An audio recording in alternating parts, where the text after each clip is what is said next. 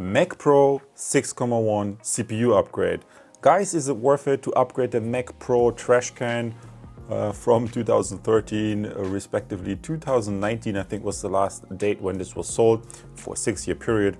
Is it worth to upgrade them with a 12 core CPU? I would really say we quickly jump on the desktop into my system and as you can see here I have Mac uh, 3.5 gigahertz 6 core CPU which is not the base model. And I would have to say, I'm already pretty happy with that 6-core CPU.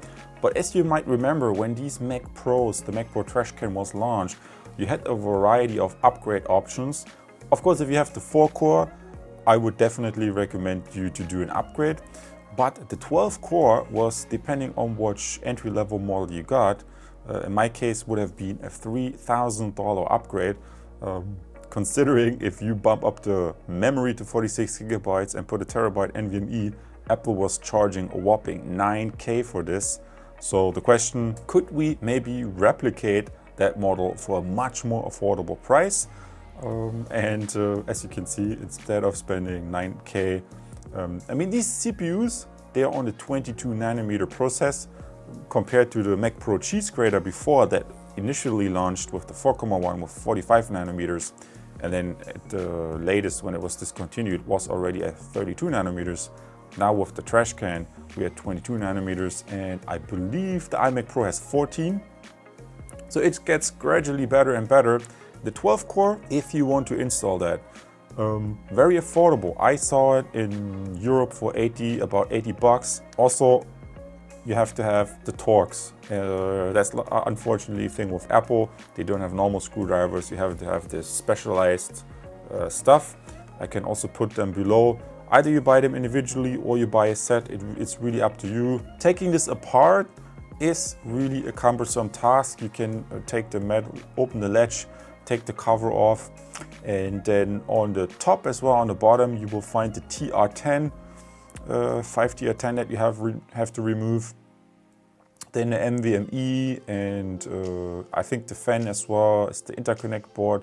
Uh, th that's all TR8 and uh, the power supply cover has TR5. Guys, without stretching this out too long or showing you unnecessary parts, if you have not lived under a rock, you probably know iFixit and I would really recommend you to go to their website um, maybe you can look that step by step on your phone. I find this a little bit more convenient. Would instead jump to the benchmark graph because that shows other Macs that I've tested as well as the 6 core that I have right now. And I must really say, I'm very happy with the 6 core actually. That has a score of 9, 870, around 870.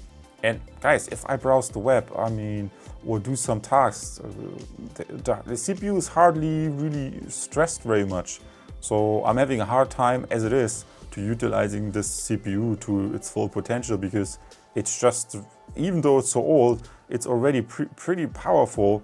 Uh, I can only imagine back in the day when that was new, uh, how much performance that system had. It's kind of amazing actually. Uh, even the D500s, they hold up very well in my system compared to an RX 580.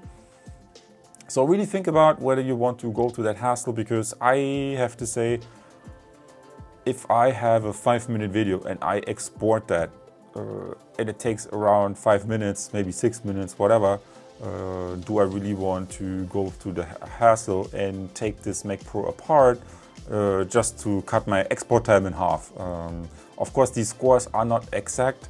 Um, if you do that upgrade, you will definitely reduce your export times, especially when you're using ProRes. But I have to say, if you're using ProRes, the 6 core is already exporting it super fast. I mean, which I showed you in my video with the video rendering benchmarks. Uh, since I'm using this machine for desktop use and work in Final Cut. So my conclusion really is, on the one hand, I would really love to do the upgrade because I'm seeing, wow, this super monster expensive CPU for like 100 bucks with the upgrade costs. On the flip side, it's like, oh, I know from my previous work, for example, working on the iMac, you really want to be careful when you're working on these Macs. You don't want to break anything. And uh, man, the system works already pretty well. So why to go through the hassle?